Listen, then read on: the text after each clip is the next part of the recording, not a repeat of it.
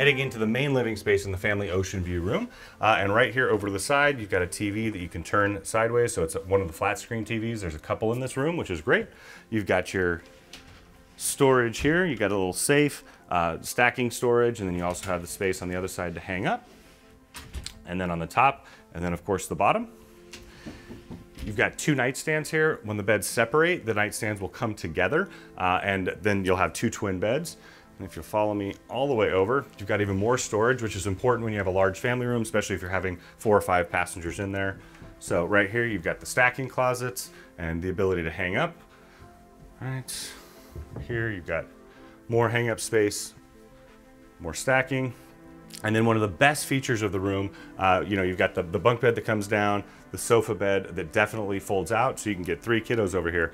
But my favorite part of it is the curtain that completely separates the space.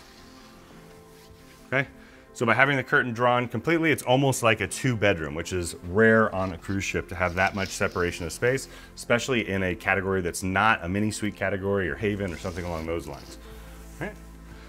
So following over to the other living space, the kids living space, so you got a nice counter, vanity, another TV, which is great having the two TVs.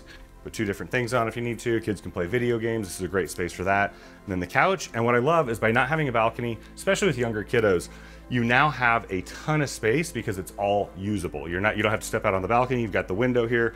This is also a perfect spot to view in Alaska or other places where maybe you don't want to go all the way up to the deck, uh, but the kiddos can sit in here, have breakfast, room service, and just have a really nice place to hang out. So I, I really, really love this room category. In fact, it's the room category that I have booked for my next two cruises. For my family of three, having the separation of space, the bathtub, the extra space is everything.